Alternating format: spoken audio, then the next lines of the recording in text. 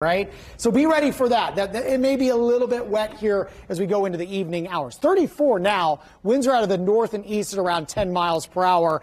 And the chills are into the mid 20s here this morning. So there is a bit of a bite. It is clear. So a little less than two hours from now, we'll get a decent amount of sunshine heading our way.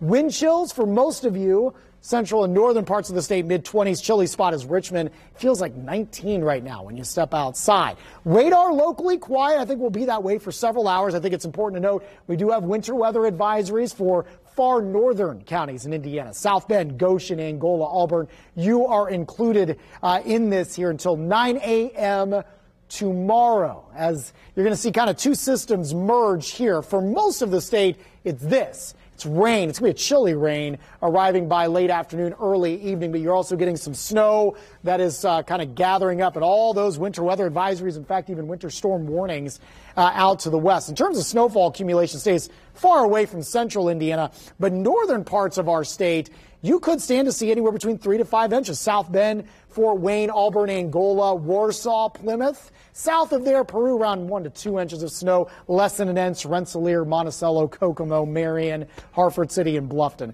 Uh, so again, not a real high impact storm. I think it is important to note Chicago could see around three, maybe as high as six inches of snow. IU, Purdue basketball fans, you're heading up there.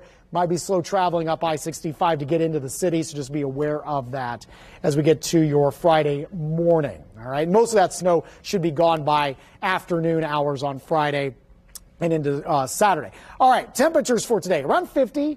Clouds will continue to increase and we'll get those chances of rain around dinner time. Futurecast. As we go hour by hour, you can see by 2 p.m. the rain is knocking on the door. Western Indiana. I think this probably arrives around 4, 5, 6 o'clock this evening. It continues through around 9 o'clock tonight. That's also when I think we'll get that transition to snow up in northern parts of the state along the Indiana Toll Road. I don't think this is going to be super heavy rainfall here. There could be some bouts of moderate pockets of rain, but certainly nothing like what we had on Friday. And then this should all be gone by this time tomorrow in terms of rain.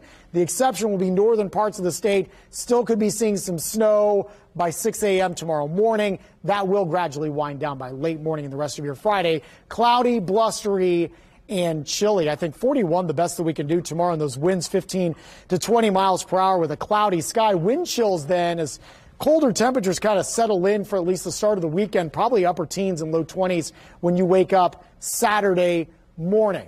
A lot of your Saturday is going to be dry but chilly, 43. We'll have some showers arriving late and then kind of a light wintry mix possible on Sunday also with highs in the low to mid 40s, even a little bit colder Monday morning, upper 20s. Could have a few flurries possible through the day and blustery too, Monday 41. Tuesday not much better, although dry 41. Mid 40s Wednesday should bounce back to around 50 by Thursday of next week, Steph. All right, thanks, Marcus. 5